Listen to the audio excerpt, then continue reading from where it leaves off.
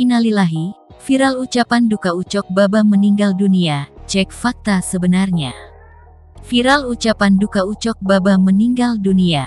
Bahkan ada ucapan Innalillahi juga. Ucok Baba meninggal dunia beredar dalam akun Facebook. Kabar ini dibagikan oleh akun Facebook Ayuni.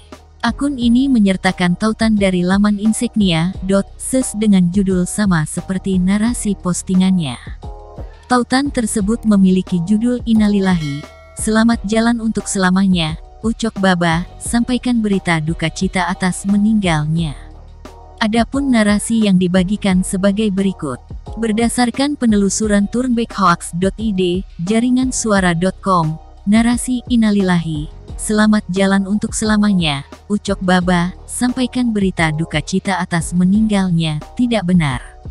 Hal ini diketahui dari akun Instagram resmi Ucok Baba, @ucok.baba. Akun Ucok Baba menunjukkan dirinya tidak membagikan kabar duka. Pada postingan terakhirnya, Ucok Baba terlihat membagikan acara podcast miliknya.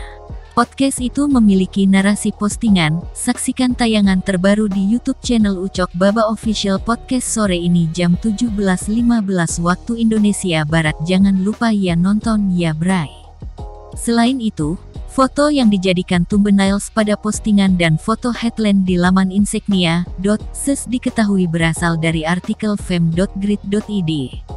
Artikel itu berjudul, Lama tak terdengar kabarnya, begini nasib Ucok Baba Banting setir jadi pengusaha durian dan ketua komunitas orang mini.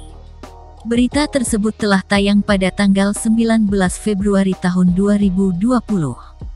Selain itu, isi artikel dari laman insignia.ses diketahui menyadur berita dari laman bagikan berita.pikiran tanda hubung rakyat.com.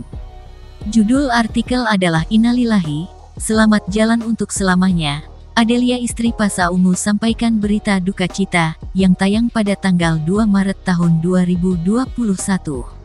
Isi dari berita tersebut mengenai ucapan belasungkawa istri Pasa Ungu, Adelia Pasa, atas meninggalnya artis Rina Gunawan. Dalam artikel itu tidak ditemukan pernyataan dari Ucok Baba.